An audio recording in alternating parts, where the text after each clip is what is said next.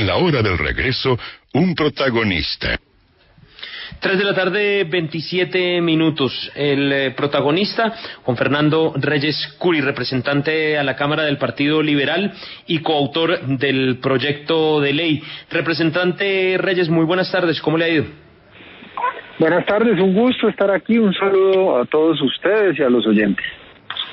Bueno, eh, muchos, y lo comenzamos a, leer en, los comentarios, eh, dicen eh, ya es hora de dar este debate en Colombia, eh, avancemos, pero pocos creen que vaya a, pasar. Pero antes de eso, digamos, para podernos formar una opinión, quiero que usted nos explique el alcance del proyecto, es decir, qué tipo de uso se pretende permitir o legalizar, cuál no, quién podría hacer uso y quién no y en qué condiciones. Bueno, lo que estamos proponiendo justamente es eh, reformar la Constitución para permitir el cannabis de uso adulto en Colombia. ¿Qué quiere decir? Solamente para mayores de edad y en los lugares y establecimientos que posteriormente permita la ley, por supuesto, con unas restricciones. Lo que pretendemos no es legalizar, sino regular, y ahí hay una diferencia sutil pero muy importante. Cuando uno legaliza, digamos que abre la puerta para que no haya casi que ningún control, para que se haga lo que quiera, para que produzca quien quiera, comercialice quien quiera, se consuma donde quiera. Y cuando se regula, que es lo que estamos proponiendo nosotros en esta reforma a la Constitución, lo que pretendemos es que el Estado asuma el control, que le quite este control hoy a las mafias y lo asuma el, el, Estado y el Estado termine decidiendo quién puede producir, en qué condiciones, quién puede comercializar, en qué condiciones y en dónde se puede eh, consumir, por supuesto, aclarando, insisto, que solamente deben ser los adultos porque a nuestros niños los tenemos que proteger. Representante, antes de, continuar con las preguntas de mis compañeras que tienen muchas además, eh, esto es un poco seguir el modelo holandés es decir, eh, en ciertos sitios de forma controlada, regulada por el Estado, y es el Estado quien dice quién lo vende, cómo se vende y dónde se vende.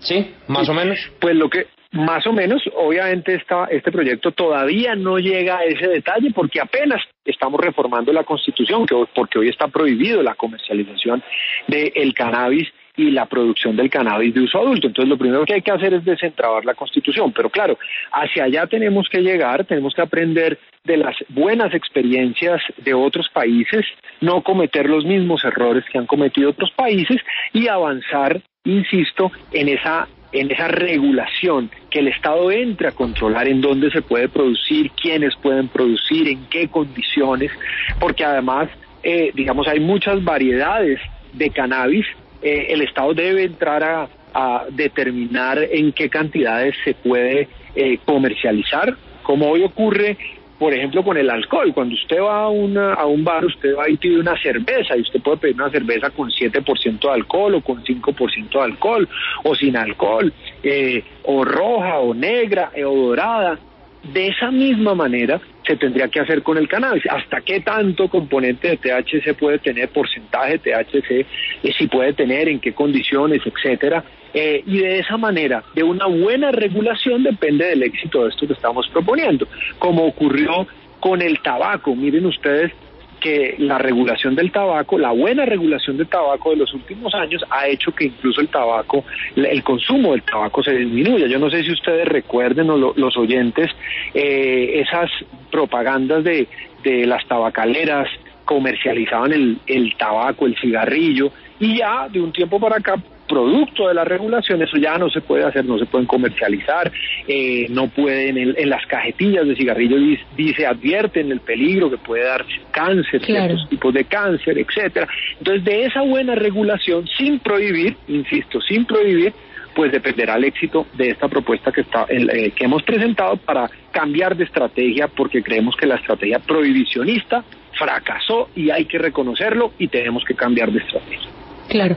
Representante, hoy se habla de que dimos un primer paso porque solamente se aprobó el informe de ponencia y más adelante se hará la votación del articulado. ¿Usted cómo siente las mayorías en este caso? Porque sabemos que no es la primera vez que se intenta regular el consumo adulto del cannabis. ¿Cómo siente usted que está este trámite dentro del Congreso y cree posible que ahora sí demos el aval?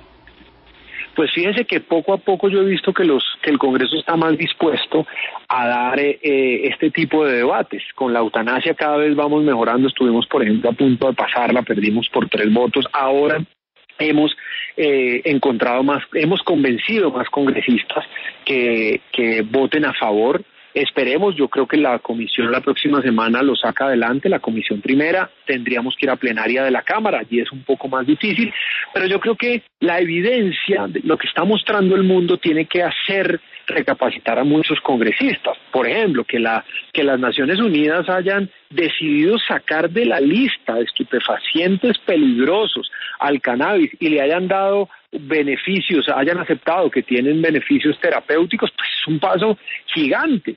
Que Canadá haya avanzado como ha avanzado, que algunos estados de Estados Unidos, Uruguay, México, que lo acaba de hacer, etcétera, pues esto nos tiene que decir, nos tiene que alertar y el país no se puede quedar atrás en esta, digamos, en esta lucha, porque esto Además, eh, considero que Colombia debe aprovechar los beneficios económicos de esta industria creciente del cannabis. No es posible que en otros países como Canadá esto esté generando riqueza, generando empleo, pagando impuestos, y aquí por esa misma industria nos estemos matando, estemos metiendo presos a los campesinos, eh, no estemos pagando, no esté pagando impuestos, no esté generando empleo, riqueza, eso no tiene ningún sentido. Necesitamos avanzar y yo creo que esos, digamos, esos datos, esas evidencias, ese avance del mundo, creo que tienen que ir haciendo recapacitar al Congreso, a muchos congresistas que deberían darle el sí a esta iniciativa que usted presenta en lo último que acaba de decir y es el argumento económico que probablemente es el que cale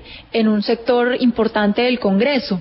¿Cómo cree usted que cambiaría el aspecto del ingreso del Estado si se aprueba el consumo de uso adulto de la marihuana? Pues muchísimo. Fíjese usted que en un estudio de Fedesarrollo reciente, solo para el cannabis medicinal, por supuesto, no han sacado un estudio, digamos, en Colombia serio sobre el tema del uso adulto, pero el del cannabis medicinal hablaba que una hectárea de cannabis puede generar alrededor de 17 empleos directos, un poquito más que lo que genera la industria de las flores, que es una industria ya más consolidada en Colombia, y que un exministro de Hacienda mencionó que esto podría evitarle al país una reforma tributaria y podría generarle ingresos, hablando del canal medicinal, de 1.5 a 3 billones de pesos. Eso solo hablando del cannabis medicinal. Ahora imagínese usted lo que podría significarle sumar el cannabis de uso adulto, juntar estas dos cosas como ya lo está haciendo o como ya están reportando ingresos el Estado canadiense o algunos estados de Estados Unidos donde ya es legal. Representante, y sobre el factor humano, que obviamente es un factor que nos compete a todos, porque en últimas, pues quien pone el pecho, quien pone el cuerpo para combatir el narcotráfico somos los colombianos, pero quienes disfrutan del consumo y de la venta del consumo es en otros países. ¿Ustedes qué han podido identificar sobre cómo beneficiaría a la población colombiana eh, en cuanto a la producción en caso de que este proyecto de ley sea aprobado? Bueno, primero es que nosotros no, no, Colombia no puede quedarse con todo lo malo que nos ha generado esta, esta guerra sin sentido. Cuánta gente ha sido sacrificada, cuántos muertos hemos puesto, cuánta sangre por esta guerra sin sentido. Una vez el país decide avanzar, pues eh, digamos que muchísimos campesinos, eh, zonas rurales de, de este país, muchísimas personas podrían avanzar, podrían dedicarse digamos, a, a, este tema de manera, de manera legal. Hay que incluir, y ahí hay una, digamos, una, un énfasis que hemos hecho, no pueden ser las grandes empresas que vienen ahora una vez se legalice a, a, apoderarse del negocio, sino que los campesinos tienen que tener una cabida allí importante, por lo que yo considero que esto tiene muchísimos beneficios económicos, sociales, de salud, de respeto a las libertades de, los, de los adultos de decidir con autonomía sobre su propia vida. Entonces son muchos los argumentos, son muchas las razones por las cuales debemos avanzar y el país tiene que avanzar en la regulación del cannabis de uso adulto. Es, es lo mejor. En medio de la prohibición lo único que hemos hecho es aumentar los cultivos como se han aumentado en los últimos 10 años, pero además aumentar el consumo y que el Estado se gane, mire, mire usted esta, esta reflexión, no solamente lo que el Estado va a dejar, va, va a recibir por esta nueva industria, sino lo que el Estado deja de gastarse en esta guerra sin sentido. Solo le voy a poner un ejemplo. En erradicación de cultivos, en, en 10 años, esto es un dato oficial, Colombia se gastó 88 billones de pesos, billones con B de Bogotá. Es una cifra escandalosa, sin contar lo que se gasta el país en régimen, en, en todo el sistema carcelario y penitenciario, en sistema judicial, en, el tema militar. Es, es muchísima plata lo que el Estado invierte en esta lucha. Insisto, sin sentido. ¿Usted tenía pregunta también para el representante Reyes? Sí, Andrés, le quería preguntar, él hablaba que ya ha logrado convencer a varias personas que han votado en el pasado de manera negativa ante este proyecto y quiero saber cuáles son las creencias que tienen, cuáles, no sé si la palabra sea el miedo, pero cuáles son esas creencias que los han hecho votar en contra, creen que va a ser malo, no creen que funcione la economía, cuáles son esas creencias y, eso es que logró convencer, pues cuáles eran esas creencias que tenían antes de pasarse a poder votar por este proyecto de ley de manera positiva. Yo, yo creo que el tema, yo creo que el tema económico es un tema importante. Yo creo que el tema de la evidencia científica que ha ido aflorando, en la que eh, lo hemos dicho insistentemente, por ejemplo, el alcohol es 114 veces más peligroso eh, o más riesgoso para la salud que el cannabis y es legal y el, y el tabaco mata al 50% de la gente que lo consume de manera habitual y es legal también. Entonces no tiene sentido que eh, sigamos dejando eh, del, sin regular una, eh, digamos, una sustancia que tiene que es menos riesgosa que otras que son legales y que la salida es regular. Entonces digamos que esos argumentos eh, los han ido los han ido convenciendo lo económico, la evidencia científica disponible y lo que ya van haciendo otros países. En Estados Unidos una de las formas de, atraer más personas para que aprueben eh, la legalidad es el uso que se le va a dar a los ingresos que se genere a través de impuestos que se le apliquen a la marihuana recreacional. En el caso de ustedes, ¿ya tienen una idea de, en qué tipo de proyectos quisieran invertir el ingreso que se genere a través de la venta de marihuana de manera legal? Sí, yo creo que buena parte tiene que ser salud y educación. Tiene salud para el tema de prevención y educación, por supuesto, para decirle a la gente todos los riesgos precisos, exactos, con la evidencia científica disponible eh, hasta el momento de cuáles son los riesgos para la salud de cada quien. Y cada adulto con esa información, con esa educación, con esa eh, prevención que debe hacer el Estado, que decida qué eh, consumir o qué no consumir. Representante Juan Fernando Reyes Curi por el Partido Liberal, coautor de este proyecto de ley que pretende regular el consumo de marihuana para la población adulta en nuestro país. Muchas gracias por su tiempo, eh, por estar aquí con nosotros en la hora del regreso, por explicarnos y esperemos a ver eh, pues qué sucede en el en el Congreso y qué favorabilidad tiene esta, este proyecto de ley, este acto legislativo, perdón, en el en el Congreso y se avanza.